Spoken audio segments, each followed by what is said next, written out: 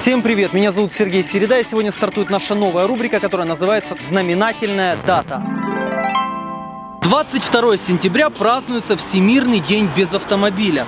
Сразу понятно, что этот праздник придумали не у нас в Украине, потому что у нас 70% населения без автомобиля. А с такими ценами на бензин, то в скором времени будет и все 90. В общем, друзья, это тот случай, когда мы празднуем праздник, сами того не зная. Ну что ж, Всемирный день без автомобиля. Пожалуй, я оставлю свою ласточку на парковке. День без автомобиля – самый безопасный праздник. Ведь у нас люди как привыкли отмечать? Выпить пьяным, сесть за руль, ездить по городу, дебоширить. Слушайте, не верите мне, спросите у жителей Николаева. Слышь ты, свой телефон.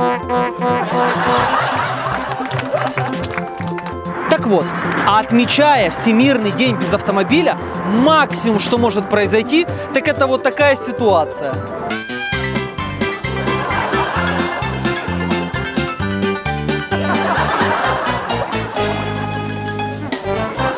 А сейчас давайте узнаем у граждан нашей страны, какой именно подарок лучше всего дарить тем, кто празднует Всемирный день без автомобиля. Носки. Цветы, конечно. Да, хорошее настроение. Например. на свою любовь и ласку. Украшения, скорее всего. Коробку конфет. Усы зебро. Трусы, носки. Дешево и сердито.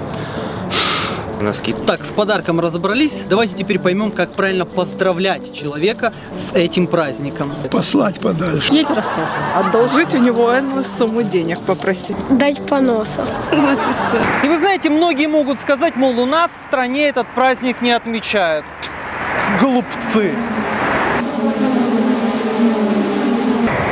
Но есть в стране активисты, которые насильно заставляют непокорных автомобилистов праздновать день без автомобиля. Итак, на 22 сентября в Киеве зарегистрировано 7 угонов автомобилей. С праздником! С вами был корреспондент Чисто News Сергей Середа.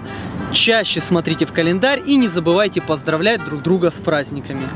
А я купаться, ребят.